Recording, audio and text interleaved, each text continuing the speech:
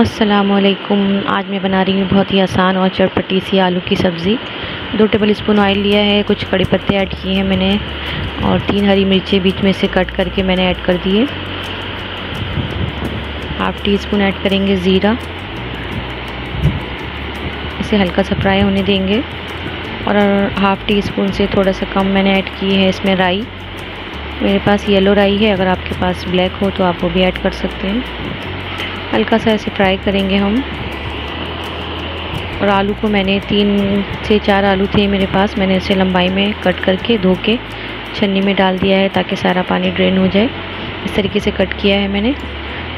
और मैं इसमें ऐड कर दूँगी ऑयल में। इसे अच्छी तरीके से मिक्स करेंगे दो से तीन मिनट के लिए। बहुत ही आसानी से बनने वाली और बहुत ही मज़ेदार सी ये सब्ज़ी है ट्राई करिएगा।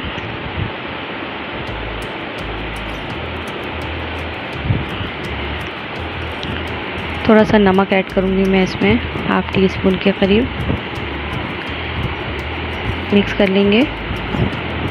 और मैं इसे ढककर पाँच मिनट के लिए स्लो फ्लेम पे रख दूँगी। बाकी के मसाले हम पाँच मिनट के बाद ऐड करेंगे।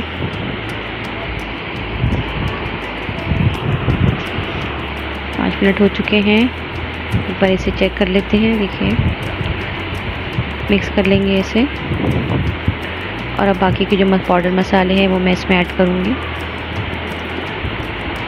हाफ़ टी स्पून हल्दी पाउडर है और वन टी स्पून धनिया powder one teaspoon red chilli powder और वन टी स्पून है चाट का मसाला। ये सब ऐड कर देंगे और इसे अच्छी तरीके से मिक्स कर लेंगे। बहुत झटपट बनने वाली ये आलू की सब्ज़ी है। ट्राई करिएगा और अगर आपने मेरे चैनल को अभी तक सब्सक्राइब नहीं किया है तो प्लीज़ सब्सक्राइब कर दें। रेसिपी पसंद आए तो प्लीज़ लाइक और शेयर ज़रूर करिएगा। मिक्स करने के बाद मैं इसे पाँच मिनट के लिए स्लो फ्लेम पे वापस से रख दूँगी ढककर, ताकि मसाले जो हैं अच्छी तरीके से आलू में मिक्स हो जाएँ।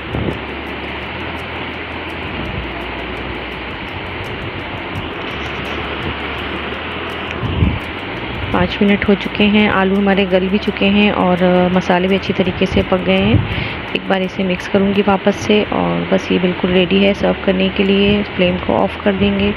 ट्राई करिएगा और चैनल को सब्सक्राइब ज़रूर करिएगा। अल्लाह हाफिज़।